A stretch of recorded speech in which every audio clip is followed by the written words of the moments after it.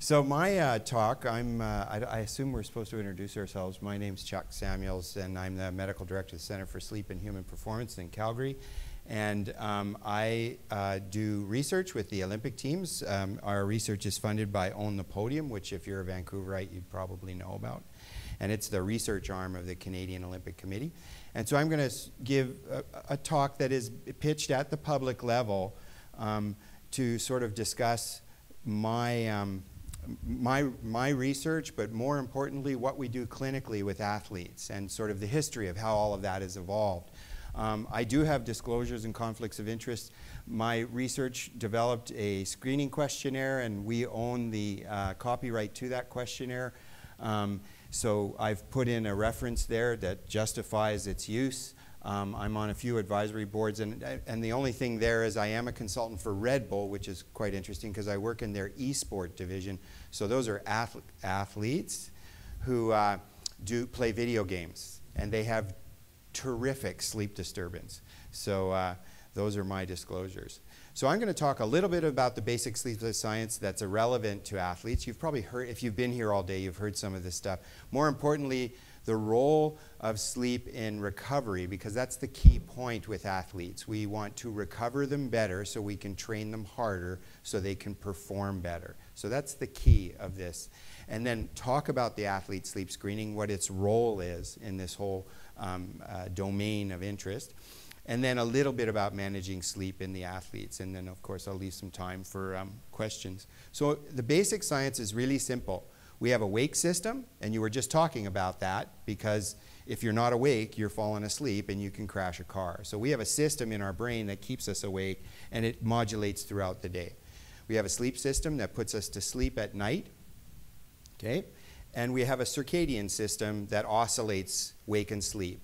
And so these three systems have to work together to get optimum sleep. And that's what this is. It's just a diagram um, I don't know if the pointer works. It doesn't, does it? So it's a diagram of how, basically I use this term symphony of sleep. All of these things have to fit together. You have to be sleeping at the right time for your brain. So some people are night owls, some people are larks. Most people are neutral sleepers, sort of like 11 to 7 sleepers. But if you're outside that window naturally, or you're sleeping against your clock, so in other words, you're going to bed at 11 and you have to wake up at 5 to get to work because you have a, an hour long commute, that's against your natural clock. If you're using an alarm clock to wake up every morning, that's against your natural clock. So we have to have all of these pieces of the puzzle the sleep system, the wake system, and the circadian system aligned to get the optimum out of your sleep. Because sleep is the foundation of human recovery. So it's where we recover. There are many other things we do to recover when we stress our bodies, but we need sleep to get that baseline, okay? And then within sleep, so that's those are the systems that keep us awake, put us to sleep, give us the right timing, our zone. But when we're sleeping, our brain cycles through stages of sleep. Most people have heard of this the stage one, stage two, dream sleep, and deep sleep. You were just talking about deep sleep. Different things occur in different stages of sleep that help us learn, remember, and physically recover. And again, if your sleep systems aren't optimally put together, it disturbs what's going on in your brain and the rest of your body, and you don't get the optimum recovery. Okay? So this is the way we sort of operationalize this when we're talking with support teams. So I am just a tiny part of what's called an integrated support team for each national sport organization. So Uh, uh, long track speed skating or cross country or downhill skiing, they all have national sport organizations. And the, it, within those organizations, we have teams of support staff. And sleep is one of them, and we, pro we provide that service to each national team. Okay? And we have this diagram that we use, and we talk about the health and wellness of an athlete. We talk about the resilience of an athlete. So they're healthy and they're well, but are they resilient? Can they withstand high stress, either from training? It could be training at altitude. It could be travel. It could be the rigors of their sport. Okay? So, how resilient are they? And those two things, health, wellness, resilience, ultimately converge into their, their final athletic performance. And then, of course, there are many other factors that are individual to each athlete. But when you get to the highest level, at the, at the elite level of sport, all of these athletes are, are, are skilled. They all have the talent. Okay? It's a question of these minor little differences. You know, so recovery becomes really important because you can train harder and improve your performance at that very high level. And so in Canada, we have a, a, a, a significant commitment to training of athletes through their life cycle, right from five years of age to 90 years, taking, for instance, an Olympic athlete right into their elder years. Sport Canada has invested into a program called the Long Term Athlete Development Program, and it's online. You can just type into the computer long term athlete development. And for every sport organization in Canada, tennis, basketball, skiing, whatever it is, there is a document produced on how to coach athletes and how to look after athletes right from when they're little and they're just playing soccer in the field, you know, all the way up to being on the national team. And so it's quite a sophisticated program. And we've produced the sleep part of it. And I think I have, no, I didn't put it in here. But the sleep document actually has a little sort of graph for parents to look at very simply if my child's 13, what do I have to pay attention to? What do I have to look for? if my kid isn't getting enough sleep or isn't rested enough, isn't like the other kids, what do I have to look for and should I go to the doctor or get some help? So we're trying to raise the awareness of the importance of sleep within the context of training athletes, in, in the bigger context of training athletes. So when we break it down from a sleep perspective for athletes, we look at are you getting enough sleep? Which for sure in junior athletes, is not happening for a host of reasons. If you're a parent, how many parents in here have junior athletes? Okay, usually the whole room is filled with them. So the fact is that the kids aren't getting enough sleep because they have too many demands. Just very simple. And so that's a big one. The sleep inertia you've talked about we look at that when we're training athletes. So if they have afternoon naps before an afternoon training session, just like the previous speaker spoke of, you have to be careful about throwing them in the gym and starting to do very complex tasks or, or demanding tasks after a nap. And we strategically have the athletes nap to catch up on their sleep. So the way we do it, it's like math. We say, okay, how many hours of sleep do you need a week? And let's set the bar, the minimum, at seven hours for an athlete who's training at least two hours a day, let's say. Seven hours a night would be the absolute minimum, and that would be a little bit not enough for a teenage athlete. So that's 49 hours a week. Again, not a lot of sleep from our perspective as sleep researchers and sleep clinicians. So we tell them, you've got to shoot for the 50 hours a week. Now, if there's a teenager, it's more to the 60 or 70 hours a week. So we strategically put naps in and help them with weekend sleep, and we work it around their training schedule. We may work with the coaches to change training. Um, and in some countries, Australia being one, they've changed training in some sports to allow athletes to sleep in. We've done that with some of our sports here. Swimming is the worst, where kids have to get up at 5 o'clock in the morning at the time in their life when they need the most sleep. They get the least amount of sleep. Okay? So sleep inertia plays a role, sleep deprivation, circadian factors, in other words, the timing of your sleep. And with teenagers, as, a, as an example, they become night owls as teenagers. That's a normal thing. About 20 or 30% of teenagers become night owls. It's totally normal part of adolescence.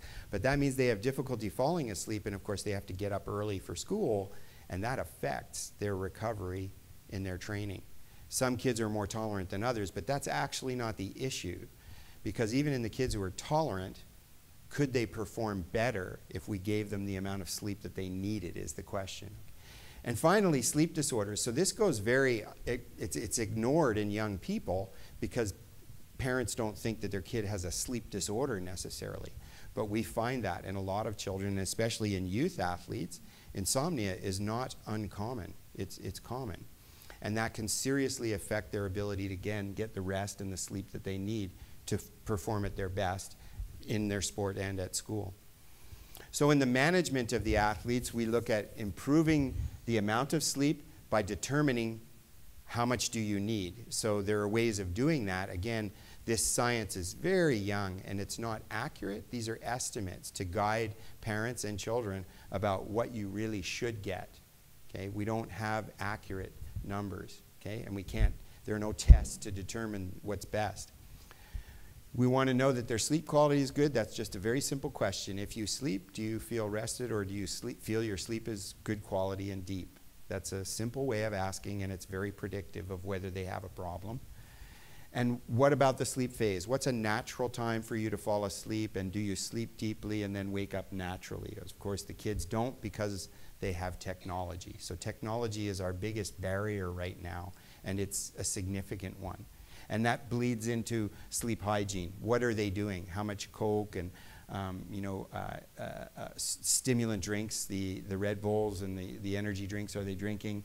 Um, what are they doing before sleep? Are they re- resting? There's so many factors here in the behavior they have around sleep, okay, that we have to look at. So at the end of the day, what we do with the athletes and the coaches and the support staff is we make it as simple as possible we get them to focus on determining the athlete's sleep need and then doing the math to figure out that they're getting the amount of sleep they need a week. And we really believe that it is more towards 60 hours a week in most athletes. Okay?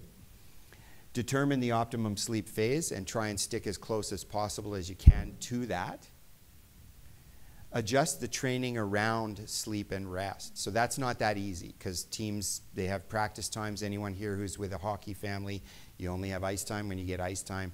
So then we're looking at strategies to sort of survival sleep and survival recovery for the kids. But you can't ignore it.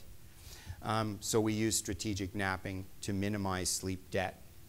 And the most important thing at the end of the day is working with routine. So trying to give the kids a routine that works for them, and the parents the understanding that routine is critical. The more random they are, the harder it is to get them the quality sleep they need to perform at their best. And again, that's at any age, not just children. Okay?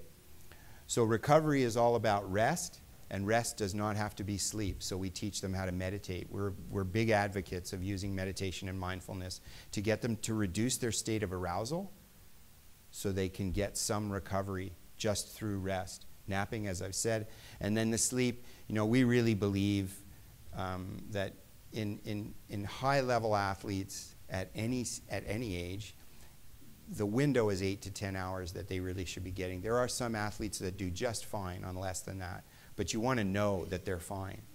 And that's the purpose of doing sleep screening. Okay, so you've learned a bit about napping, and I want to give you time to ask questions. So the bottom line is, you know, learn what you need and get it.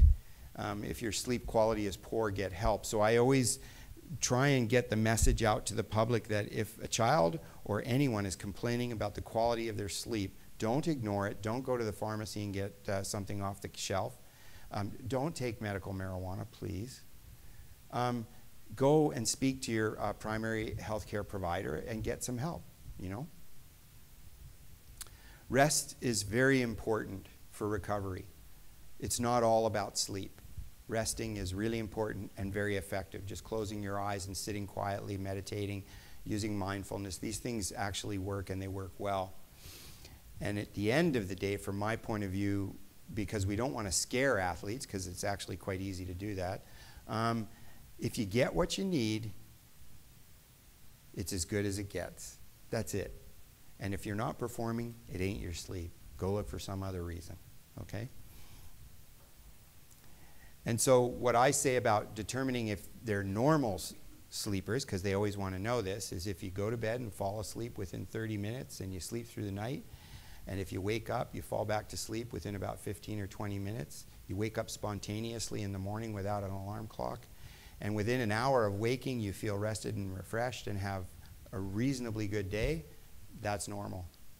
You probably don't have a sleep problem. Okay? And so we use things like sleep logs and light therapy. These books are um, recommended reading, and I don't know if you have access to the slides, but Take a Nap, Change Your Life is an excellent book that we use for napping. Sink into Sleep is a Canadian book on um, Insomnia and Say Goodnight to Insomnia is written by an American fellow from Harvard. Um, and Judith Davidson is from Queen's University. And these are excellent books for kids or people struggling with insomnia. So, in the end, the sleep requirements and the potential for disturbance change over time through an athlete's life cycle, so we're always working with them. We're always screening their sleep to see if there's a problem. Establishing a routine and, and establishing the importance of routine is key. And we really in, try and emphasize not to compromise sleep for training. So, training on a rested body is sort of the thing that we say to them. We want them to establish the importance of sleep early in their career so they get it and provide time or opportunity for sleep, which is really the problem, and that has a lot to do with technology. And again, to tell them that if they have poor sleep, they should get help. So that's all I have to say, and this is my crew of people that have supported me in the research. And um, I'm happy to answer questions. I don't know how much time there is left.